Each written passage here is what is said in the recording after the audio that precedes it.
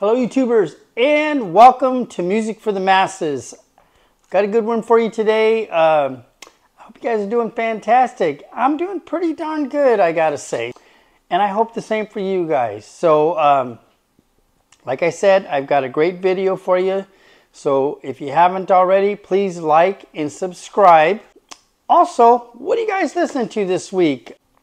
I've been listening to an oldies playlist on my Apple subscription, but also I've been listening to this little guy right here.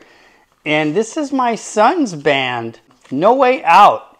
And uh, they just, they put out a little record here and it's got uh, six, six songs on it. It's a hardcore band. So guys, if you're not uh, into hardcore, then this may not be for you, but if you like hardcore, this is just a great band. I'm not just saying that because it's my son, maybe just a little bit, but no, it's a really good band. And I, I kind of picked up on hardcore uh, through him uh, throughout the years, uh, taking him to go to see uh, bands like uh, Bleeding Through, uh, Sinai Beach.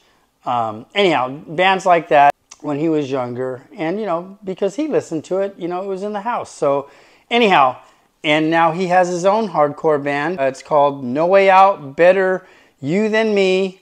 And uh, the tracks are Better You Than Me, Frailty, Penalty, Falling Man, Crosses, and Violator.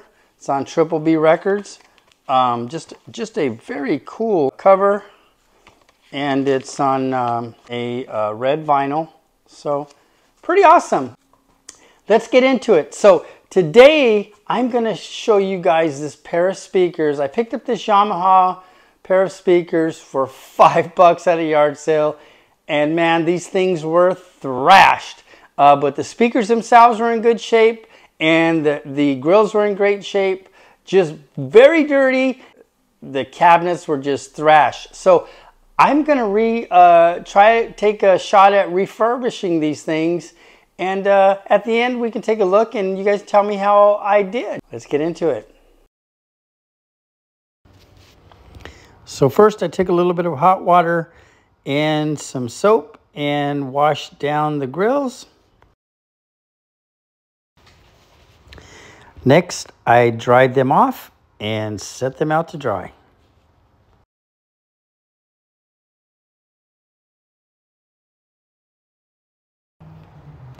Next up on the cabinets, a little bit of soap and water to get them nice and cleaned before I take them down to garage uh, for paint prep.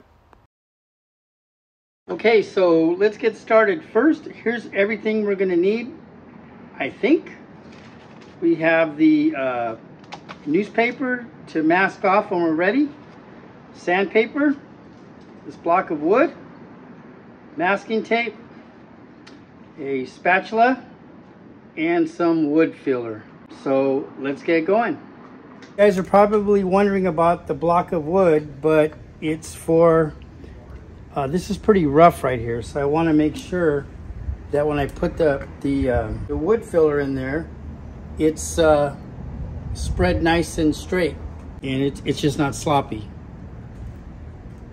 Okay, let's get started. So you're probably wondering why I had the wood block and now you're gonna find out.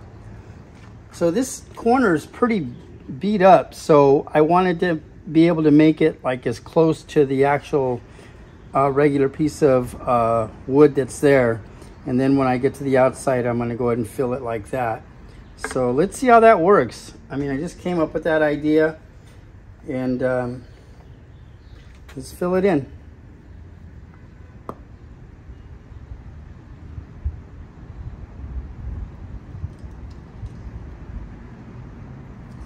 So I'm sure this is going to take a, uh, a few times, but because we're going to have to let it dry, I don't expect to get it perfect the first time.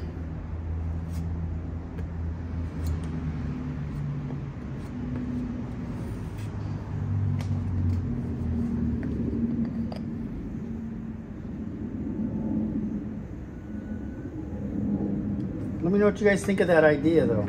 That was pretty, uh, pretty clever.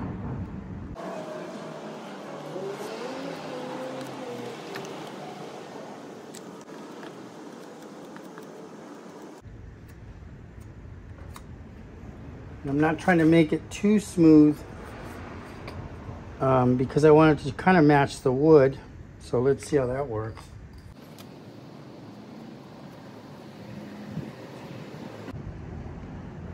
Well, it kind of works, but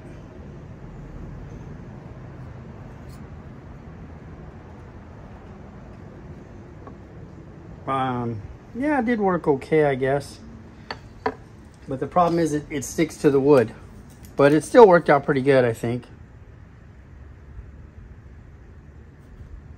I think what I'm gonna do is this.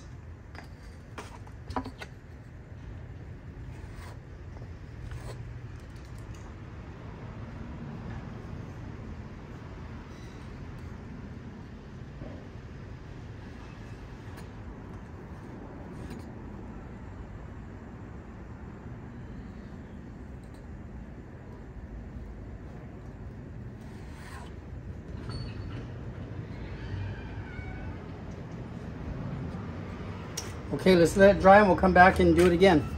So while we're waiting for this putty to dry, I'm gonna go ahead and give this speaker right here a quick sanding because uh, eventually we're gonna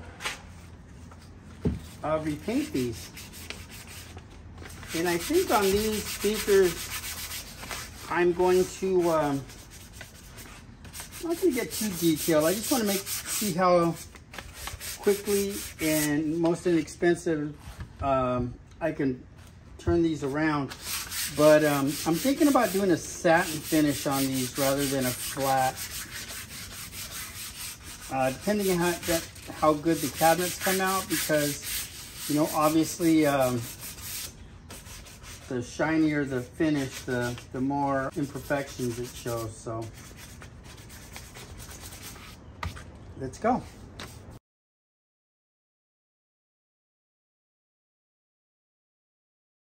Okay, so I've got these patched pretty good, so I'm just gonna sand them down a little more. Keep in mind, if, if I had spent more money on these, I'd, I'd probably take more time. Um, but I am gonna try to do the best that I can on them. So let's get the sanding done and then masking off. Okay, so we're all uh, nice and cleaned. Now the next thing we're gonna do is uh, get these things masked off and uh, paint them.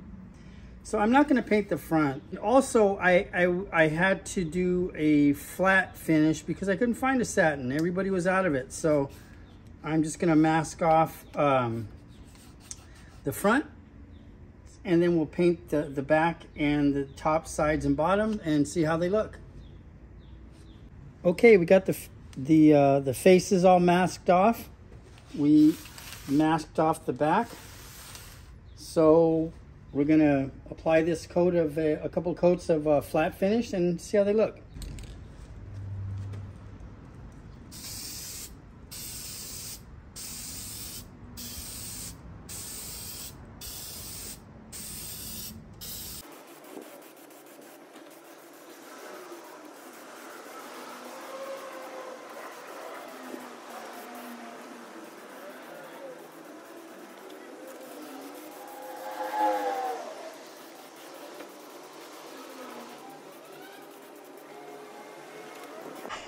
Okay, guys, so here are the speakers. Uh, I think they look pretty good. For what I spent, I believe I spent uh, $7 uh, for the, uh, the wood putty, the plastic wood putty, and also uh, the can of spray paint, which um, I really wish I would have been able to find the satin finish, but I couldn't find it anywhere. So anyhow, but uh, let's take a look at these guys.